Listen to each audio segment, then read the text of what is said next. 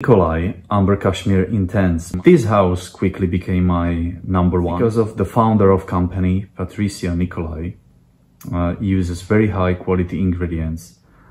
I've tried almost all, uh, all from currently available Nicolai perfumes. There is no single one which is not at least very good. Most of them are top notch or masterpieces.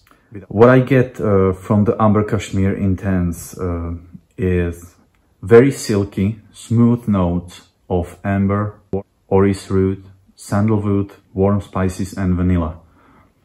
And the, the scent itself is very rich uh, by the compositions and it's very appropriate for summer and where it shines the most.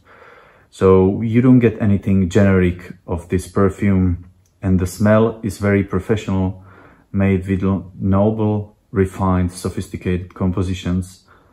And the Amber Cashmere Intense is mainly appropriate for special occasions.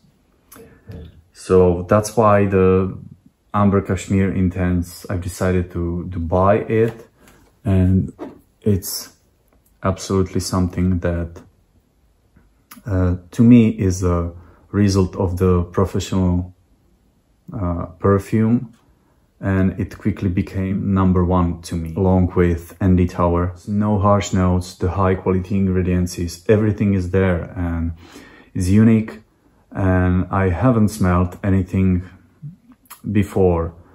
Uh, even the amber perfumes, I haven't smelled the the single one perfume that is similar to this one. So Amber Cashmere, is something really unique.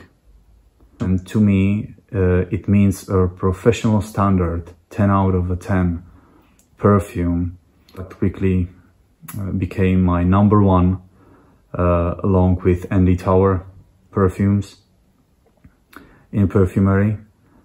And the basically uh, Nicolai perfumes are to me they're much more interesting uh, somehow than the few of the the couple of malls or less exclusive and they don't repeat the perfume cliche uh, as you can you can smell in the other niche companies. What I like about Patricia Nicolai and Nicolai is she doesn't follow the trends and she's going on her own journey with a high quality standard. That's Amber